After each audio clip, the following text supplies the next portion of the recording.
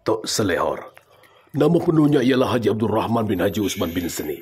Dilahirkan di Kampung Lubuk Jong di pinggir Sungai Selehor pada tahun 1871 Masehi.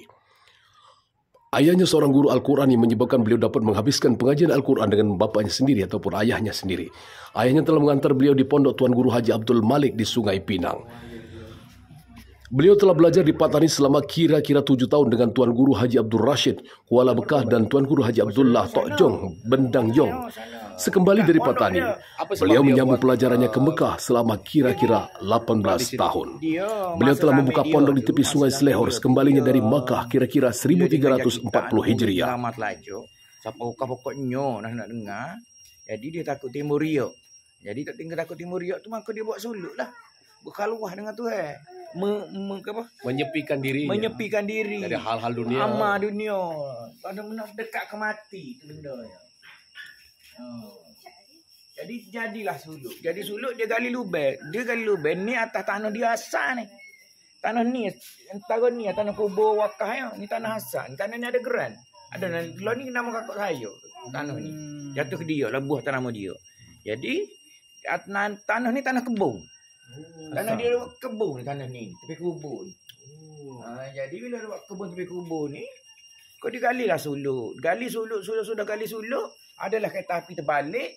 Akak satu gerabuk main letak sini. Itu adalah gerabuk kereta api. Oh, itu adalah gerabuk kereta api. Ya, kereta kereta api. Oh. Ha. Cuma yang pintu tu kita tukar tiga kali dah. Pasalnya, hok masuk suluk tu, apa ni terjadi kejadian pelik-pelik lah pasal mau masuk buat nombor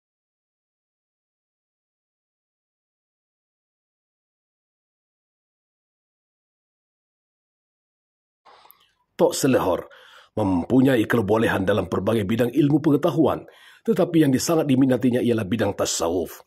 Beliau minat seni silat dan bermain keris. Beliau juga pandai membaca dan mengarang syair serta suka membaca buku-buku sastra lama. Bagi melahirkan keinsafan dan mendekatkan diri kepada mati, satu lubang telah dibuat di atas kubur Selehor untuk tempat sembahyang dan tempat berkhalwan.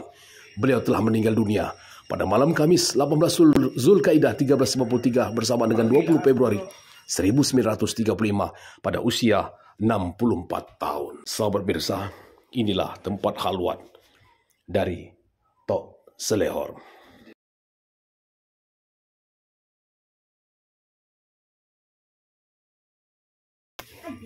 Te vas a ver